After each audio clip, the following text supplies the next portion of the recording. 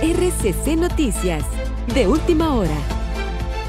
Estas cinco clínicas móviles no son simplemente vehículos que van a llevar médicos, realmente esta es, la posibilidad de tener un diagnóstico temprano, de evitar una enfermedad, es la capacidad de multiplicar hospitales y clínicas que, que hoy hacen falta en el Paraguay. Una clínica móvil puede estar en varios barrios a la mañana, puede estar en varios distritos a lo largo de un día, puede visitar dos o tres departamentos en una semana.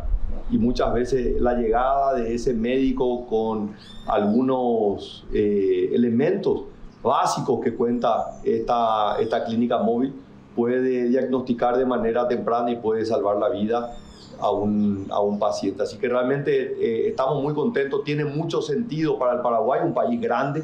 Paraguay es un país, Ayrton, estamos al lado de un continente como Brasil, tu país, y parece Paraguay pequeño, pero el Paraguay es más grande que Alemania geográficamente y tiene una población pequeña, una población que está dispersa a lo largo y ancho del país. Entonces, la telemedicina, la medicina móvil es el camino para poder llegar a cada una de las comunidades y las localidades. Y acá los intendentes saben lo que cuesta de repente tener un especialista, tener un médico y que pueda haber esa atención tan necesaria que es el reclamo que escuchamos eh, en cada uno de los rincones del Paraguay.